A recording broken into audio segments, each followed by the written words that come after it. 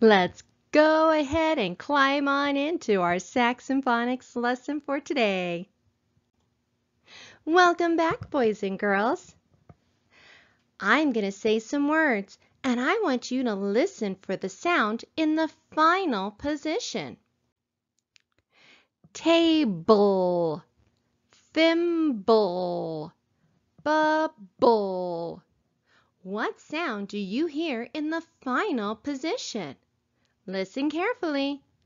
Table, thimble, bubble. We hear the bull sound at the end of those words. This sound is different from those that we have been learning because it contains two sounds, b, o. Look at these words up on the board. Table, thimble, bubble. What do you see that might be making the bull sound? That's right. B-L-E is making the bull sound in each of these words. B-L-E makes the bull sound. BLE is something new that we call a final, stable syllable. We call it final because it's in the final position. We call it stable because it does not change. When we say something is stable, it never changes. We can count on it always having the bull sound in the final position. And we call it a syllable because it has its own vowel sound. The strange thing about it is we do not hear the vowel sound that it makes. The vowel E does not make a sound. It's silent. So we cross out the E's. The vowel sound we do hear in the final stable syllable is the schwa sound. This is the sound uh that we hear between the B and the L. Just like when we had our words the uh uh and uh uh uh. We hear the same sound in bull.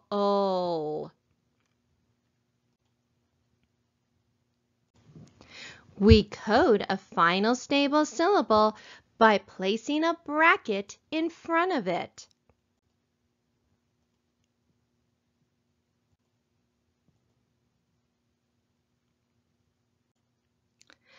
When a word has a final stable syllable, the accent mark usually falls on the syllable before the bracket. The bracket is like the dividing line we use when we code two-syllable words. It helps us separate the syllables. When we code the vowel, we look only at the letters in the syllable containing the vowel. Let's look at the word table. How do we code an A that is open and accented? Yes, it's going to be long, and we code it with a macron. The syllable here is te. The A is not followed by a consonant, and the syllable is accented. Let's finish coding our other words. Let's look at the word thimble. What do we need to code first? Yes, we see digraph TH, so let's underline it. And remember, here in the word thimble, digraph TH is making its unvoiced sound. So we're going to leave it alone. What other coding do we need to do? Yes, we have a vowel that's followed by a consonant. So we're going to code it with a breve. Let's look at our last word, bubble. How should I code this word? Wait, be careful. That is not double consonants.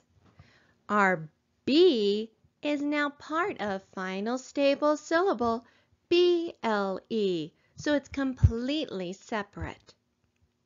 So let's look for our vowel. We have a vowel followed by a consonant, so we're going to code it with a breve. Now take a look at this word. It's a bit different. Sometimes you'll see a digraph in the syllable before the final stable syllable. All we need to do is bracket off the final stable syllable. We're going to put our accent mark. We're going to cross out our E. And then we code our digraph just like we always have. So we're going to underline digraph EE cross out the final E because it's silent, and put a macron over the first E because it's making the long E sound and saying its name. I have this word up on my board. Let's see if I've spelled it correctly. First, let's listen to the sounds as we chop it up with our bodies. St, a, bull. So now we need to bracket off our final stable syllable, B-L-E. We need to put our accent mark before the bracket and cross out our E because it is silent. Now, let's look at our vowel. Is our vowel followed by a consonant? No, it is not. An open, accented vowel is long, and we code it with a macron. Now, if we were to read this word, it would say stooble. Is that the word we were trying to spell? No, we wanted to spell the word stubble. Hmm, what do we need to change? Let's break apart the word again. St, a, bull. Hmm. What do we need to add to make that U short? Let's think about our rule about short vowels. A vowel followed by a consonant is short. So we need to make sure that this letter U is followed by a consonant. But I don't hear any other consonants in this word but the b, b, b sound.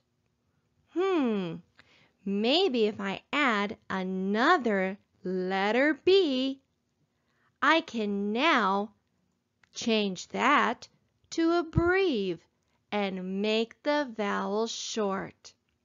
So now I have the word stubble. Thank you, boys and girls, for helping me with that. So, boys and girls, today we have learned about final stable syllable B-L-E. So when we see this card, we're going to say final stable syllable B-L-E. And to help us remember what sound it makes, we have bubble, bull. So when I tell you the bull sound, we're going to write and say final stable syllable B L-E. We also have a new sight word today. This is the word they. They went to the park. Remember, sight words are words that we have memorized. They are not words that follow the rules. So when we see this word in our reading or in our writing, we're going to go ahead and circle it because it's a word that we know. Great job, boys and girls. Now, let's practice coding some words up on the board. Let's start with this phrase up on the board. Let's start with the first word in this phrase. What do you see at the end of the word? Yes, we see V-E. And we've learned that words that end with the V sound will be spelled with V-E. And we know that the E at the end of words is going to be silent. It's going to be our sneaky E. So let's cross it out. And it jumps over and it's going to make the I long and say its name. Let's go over to our next word. Look at the end again. We have suffix S. So let's put a box around it. And I know when suffix s comes after the letter G, it's going to make the z sound. It's going to make its voiced sound. So let's draw a voice line through it so we remember that it goes z, z, z. Now let's code our vowel. We have a vowel followed by a consonant, so we're going to code it with a breve. Let's look at our next word. What word is that? It's the word of. So let's circle it because we know that word. Now on to the next word. Look at the end. We have final stable syllable B-L-E. So let's bracket it off, cross out our E because it's silent, and put an accent mark after the first syllable. Now let's code our first syllable. Look at the vowel. We have an open, accented vowel, so we're going to code it with a macron. Now let's look at our last word. We have digraph EE, so let's underline it. And we're going to cross out our second E because it is silent and put a macron over our first E to remind us it is making its long sound. It's saying its name. Now let's go ahead and let's read this phrase. Five bags of stable feed. That's a lot of food for animals that live in a stable. Five bags of stable feed. Now let's go ahead and let's code this word.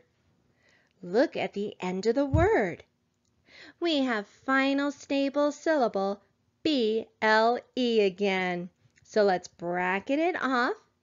We're going to cross out the E because it is silent and put an accent mark after the first syllable. Now let's code our first syllable. We have a vowel followed by a consonant, so we're going to code it with a breve. Now let's go ahead and read this word. Bumble. Hmm, that reminds me of a bumblebee. Let's go ahead and let's code our last phrase. Do we see any easy, obvious things we can code in that first word? Yes, we see the letter C. So let's draw a K back to remind us that it makes the K sound. Now let's look for our vowel consonant pattern. We have vowel, consonant, consonant, vowel right there.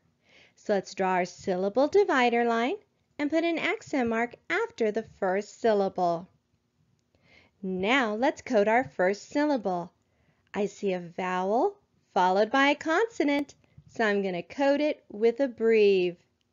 Let's go on to our second syllable. I see another vowel followed by a consonant, so I'm going to code it with a breve. Let's go on to our next word. What do you see there in the middle?